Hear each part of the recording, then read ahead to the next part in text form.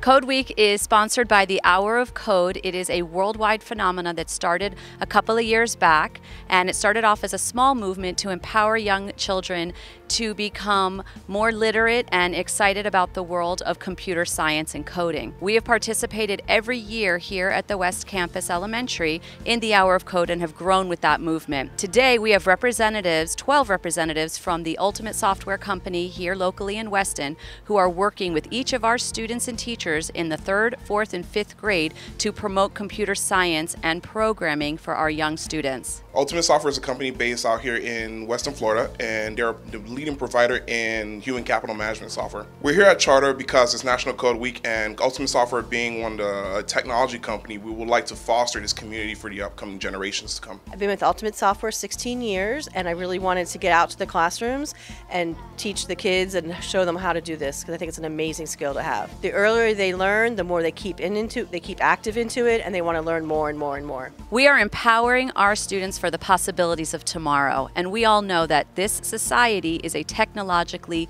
born group of young adults and young children, and we are wanting them to walk away from this experience with the knowledge and know-how to use computer science programming and to build that into a career path for them that will make them successful and empowered in their future life. After today's exercises, the goal is to have these uh, students come out with a greater understanding of what it takes to actually make software work and understand uh, fundamental principles um, that build up these constructs. So the idea of the Ultimate Software Company and Hour of Code Week is for our students and all students to become empowered learners for tomorrow.